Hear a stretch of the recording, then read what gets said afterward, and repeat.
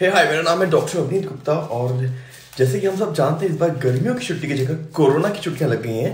तो मैं घर में बैठ के बोर हो रहा था क्योंकि मैंने अपने आपको घर में लॉकडाउन कर लिया है अपनी सेफ्टी के लिए और अपने आस पड़ोस के लोगों की सेफ्टी के लिए। तो मैं घर में बैठ के बोर हो रहा था तो मैंने सोचा क्या करूँ? तो क्या करूँ के चक्कर में मैंने एक सोचा कि एक छोटा सा एक्सपेरिमेंट कर लेता हूँ ताकि पता चले कि डब्ल्यूएचओ जो बोलता है कि फाइव स्टेप हैंड वॉश करना चाहिए, उससे क्या फ़ायदा होता है?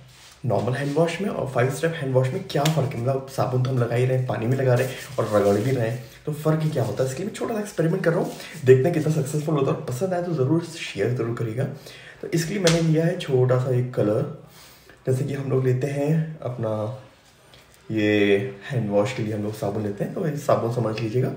इसको जब हम नॉर्मल मैं वॉश करता हूँ, मैं वैसे ही वॉश कर रहा हूँ। मैं जस्ट यूँ यूँ लेता हूँ साबुन। यूँ यूँ करके और ऐसे ऐसे करके वॉश कर लेता हूँ। साबुन को लगा के ऐसे कर लिया। इस तरीके से लगा के मैं इसको वॉश कर लेता हूँ। जब हम ऐसा करते हैं तो आप देखिए हम कितनी जगह छोड़ देते हैं। ओह, देख रहे हैं।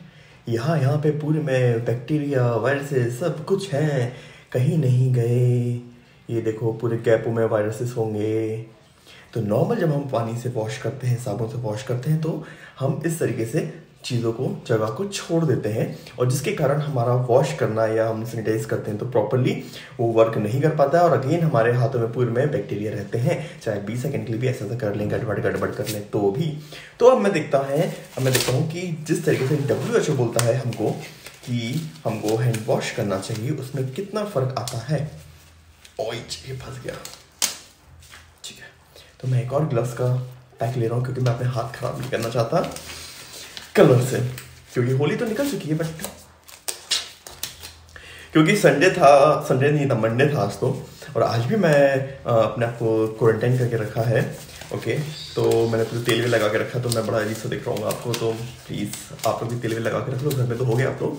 अगेन मैं इसमें लेता हूँ जिस तरीके से डब्ल्यू एच बोलता है कि हमको self five step hand wash करना चाहिए। उसका फ़ायदा के लिए मैं देखता हूँ कि कैसे वो फ़ायदा करता है? मैंने कलर लिया है इस तरीके से हम लोग हैंड वॉश लेते हैं और जो वो बोलता है कि डब्ल्यू एच बोलते हैं फाइव स्टेप में जिसमें ट्वेंटी सेकेंड के लिए वॉश करना चाहिए हमें और फ़र्स्ट हमें ऐसे से रब करना चाहिए पाम टू पाम ओके इसके बाद हमें अब ऑफ़ साइड करना चाहिए ओके इसके बाद हमें सेकेंड साइड करना चाहिए हम्म, हम्म, हम्म। इसके बाद हमें इस तरीके से करना चाहिए फिर ये करना चाहिए। आओ ओके और फिर ये जो बचे हुआ थम होता है इसको करना चाहिए। ये पूरे फाइव स्टेप है। मैंने इसके ऊपर एक और वीडियो बना चुका हूँ। मगर इसका मैं देख रहा था अफेक्टिविटी कितनी होती है। और फिर नकल्स को करना चाहिए। नेल्स